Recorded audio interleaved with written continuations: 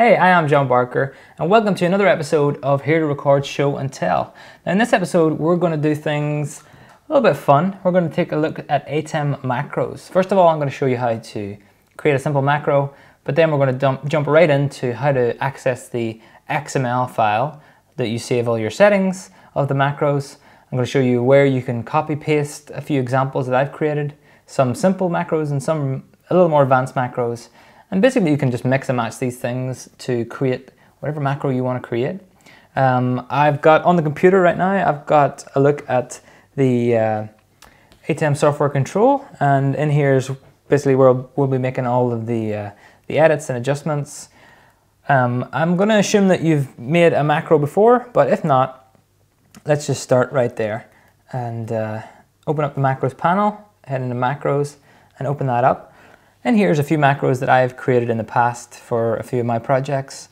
But for this project, I'm just going to make one at the very end here. So I'm going to create, I'm in this create tab and I've clicked on the last one in the, uh, on the list. And I'll just hit create. And for this example, I'm just going to call this macro um, prog prev. So program preview, I'm going to hit record. So once I hit record, a few things are going to happen. Um, I'm going to change between some cameras and um, I'm just going to just show you how that works now. So I'll hit record and I'm going to choose the uh, close camera to go wide and I'm going to choose this screens is what I call it to be on preview. So I'll hit that and you'll see a few things happen on the um, master recording and then I can just use the um, there's a stop button in the uh, or hit that record button again just to stop the macro. So hit that again and I'll take you back over to the screens. Uh, like I say, I'm actually using this ATEM to create this video, so things might jump around a little, but you can easily follow along with that. Um, so now I have my program preview macro created. I can run that actually and show you what happens.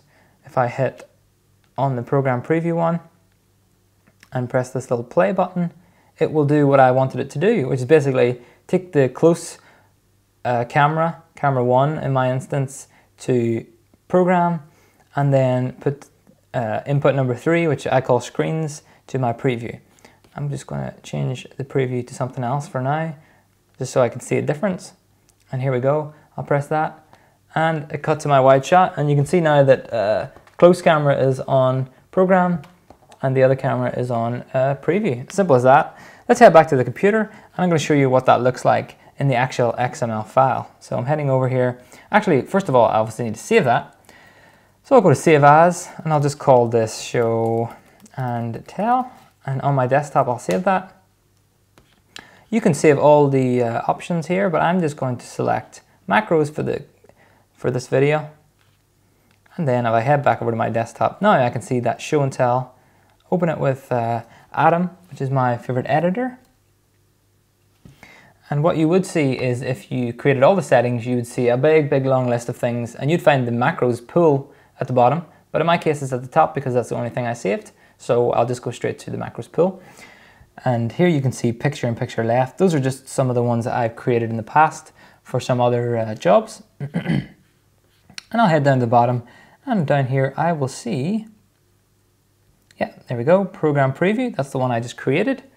And if you take a look, you'll see in here that um, the options that I uh, added, so program input on mix effect 0 to be camera 2, that's what I call my uh, the first camera on my list, the first input, and the preview input will become camera 7.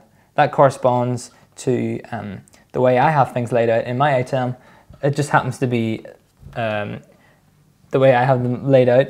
So camera two is my close-up camera, camera seven is my screens camera. So that's kind of how that works. And uh, we'll head back in, in there and I can just show you that you can just edit these things. So if I wanted camera seven actually to be the program camera and I wanted two to be the preview input, I can just uh, make those edits in there. I'm trying to zoom out, there we go.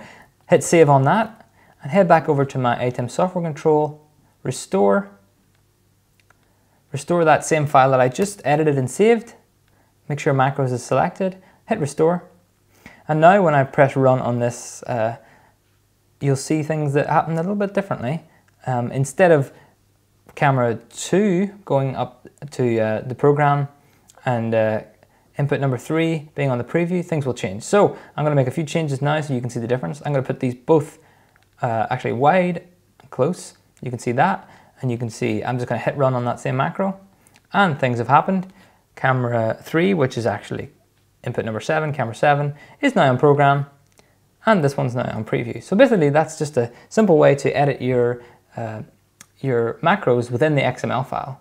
Let's take a little deeper look now into a GitHub, a GitHub repo that I've created and you can use anything on there, just copy and paste. You'll find a link to that in the description on a blog post and you can just copy and paste those things into your XML file and then you can create whatever macro you want. Instead of having to create it through the ATEM software control, you can actually create it within the XML file. So let's head a look, head over to the, uh, the GitHub repo. Again, like I said, you'll find a link to this underneath this video um, on my uh, sort of master blog post about this whole thing.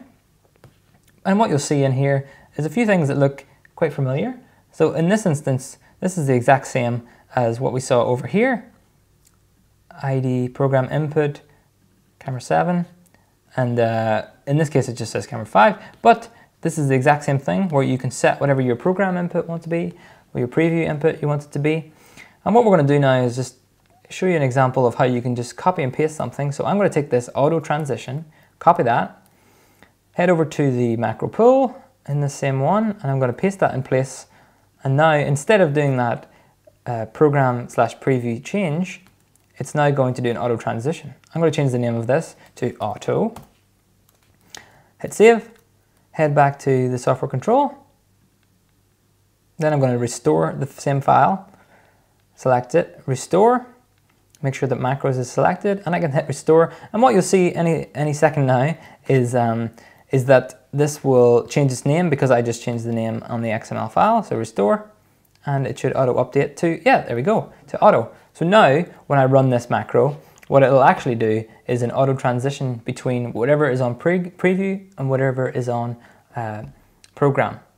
And uh, this is a, a, good way where you can stack up a few of these things. So say you want to go from one camera to the other and set up a macro, you can set what you want to be on the preview and then you do auto transition and then it'll do that. So let's take a look. I'm gonna press play on that um, transition. You can probably just about see me pressing play over there and it'll do an auto transition in this case between my close-up camera and I will select uh, my wide camera. So I'm ready to go. I'll hit that play button once again and it'll do a nice auto transition between the two. Those are the simple sort of cut auto ways of doing things. And now let's take a little bit of a deeper look into how to put things like the upstream or downstream keyers onto a macro and make it editable that way. So if we head back into the computer and we go over to the GitHub file and here I have a down and upstream keys section. And let's say I want upstream key to go on air. So I'll just take this, copy it, and paste it again. I'll just overwrite that again. In this case, I want one of my key to go on air, and then I want it to be an ME1, and I want it to be key zero. So something to keep in mind is that whenever you're um, setting your keys, that uh, things are on um, this is actually zero. Instead of being key one, it's actually zero. And this is one, this is two, and this is three. So everything is minus one number. So in this instance, I want my key one to go on air, which is actually called key index zero, and on air to be true. And basically what that's going to do is bring that key on air whenever I hit that um, that macro. Let's change the name of this to key on air. I like to change this name each time just so you see the difference that's happening. I'll head back over here, hit restore from that same file, restore it, and I should see the name change when I hit restore again. Yep, key on air is now what it's called, which means that I've brought in those new settings. And whenever I hit this um, and run this macro, then you'll see the key come on air. So if I hit that now, And there you go, you can see in the bottom corner um, that the key has come on air. I'm just going to change this camera real quickly. Yeah, so now down here you can see that's what my key on air looks like. I've just set it up for like a picture in picture style sort of thing. But um, that's simply how you do it. I can take that back off again by clicking on the on air, or I can set up a macro that, um, that does that. And uh, that's basically how you get keys, upstream and downstream keys on air through the macros. Just set them in that way, and then they just pop up on the screen like that. And you can do a false instead of a true, and that'll just take it off again. So that's that. I'll just turn that back off again so I don't make the rest of this video with the key on air. And head back to the computer. And now let's take a look at macro settings. So you can do a couple of things in macro settings, macro sleeps and macro user waits. In this instance, you just have a, yeah, a macro sleep for a certain amount of frames. So let's just copy that. And I'll bring it over here and I'll put it in before that uh, picture in picture sort of thing. And with 25 frames in each second, I'm gonna set this to 75. So it'll take me three seconds. So once I hit this key on air, I'm gonna change the name of this to new key on air just to make it different. Head back over here, file restore, and I can restore that same file. And it should change to new key on air. Yep, and the only thing that will change now is whenever I press play on this uh, ATEM macro, it'll wait three seconds before it hits that key on air. This could come in handy. Let's say you want to set up a little sequence where it cuts to a wide shot, then it cuts to a close shot, or cuts to a presenter's laptop screen, and then all of a sudden there's a three second wait, and then something like picture in picture pops on the screen. Just for example, you can use those macro sleeps just to just to insert little breaks and stuff in there. So I'm going to press play on that macro, and then we should wait for three seconds, and then hopefully it'll appear. One, two, three, I counted too fast. But there we go, that took about three seconds and the, um, the picture-in-picture upstream key came in. So let's hit that again. One, two, three. That was a slightly slower count. And there you go, you can see how that worked on. I'm gonna take that off again and uh, move on to um, some more, more custom settings that we've uh, we put on here. So in this advanced section at the bottom of the GitHub repo, I have what's called a custom auto transition. And this is something that we use for um, conferences and stuff. There's a video up here you can watch about how we deal with live stream breaks. But basically what we do is we use a HTML website, we feed that into our switcher, and basically it has some text on it, and that fades in over top of the, uh, the picture. So what people see is like a wide shot of the auditorium, and then slightly transparent text that says, you know, we're on a break, we'll be back soon. Um, the way to do that is to take the T-bar and instead of bringing it from 0 to 100%, we bring it from 0 to 75%, and then that just makes that sort of like ghosty kind of effect. And in here you can see that um, this same thing is uh, laid out here. So in this example, the T-bar position goes from 0 to 0 0.25 to 0 0.5 to 0 0.75, and then goes to 1. That's where you get a full uh, transition, but we're going to just copy and paste all the way to 0 0.75 and head over to the uh, XML file. I'm going to remove all the other stuff and paste that in there. And let's just fix the, uh, the spacing a little. And now I'm going to um, pop that one over too. Give it a new name. This one is going to be called Slow Auto. So what I can do here is I can maybe crank things up a little. So what's going to happen is the T-bar is going to go from its natural position, which is position zero, and um, it's going to go position zero, it's going to wait for one second, then it's going to go to position 0.025, wait for a second, 0.5, wait for a second, and then 0.75. And you'll see that in action in one second. I will just restore it in here and uh, the name should update, slow auto, it did. So I'm gonna just pop on this uh, wide shot and I'm gonna hit that play on there and you should see a really slow, it may look weird, but a really slow fade. So it's gonna go over time, there we go, crank, crank, crank.